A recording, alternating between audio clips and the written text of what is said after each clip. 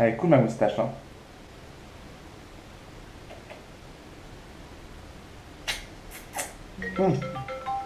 Allô?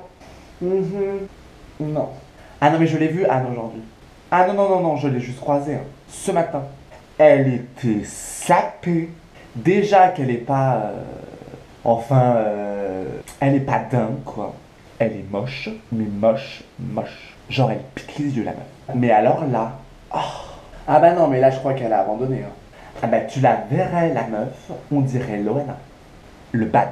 Non mais tu vois, moi je suis son pote, je suis pour lui sortir la tête de l'eau. Donc je lui ai dit, mais gentiment.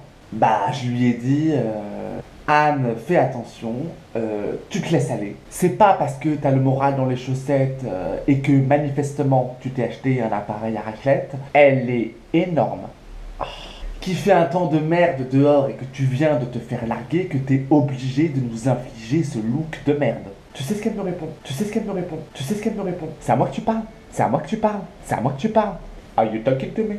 Elle me répond Tristan, arrête de me juger. Moi je juge. Moi je juge. Moi je juge. Et tu sais pas ce qu'elle me sort comme argument la meuf? Elle me dit j'ai pas les moyens, j'ai pas le temps et je suis trop grosse. Bah déjà arrête les soirées raclette. Ça va, c'est pas parce qu'elle a pas les moyens qu'elle est obligée de s'acheter toutes les pires merdes du monde sous prétexte que c'est confortable.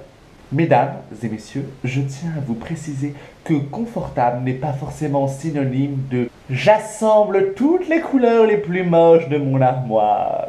On n'est pas chez des ma chérie.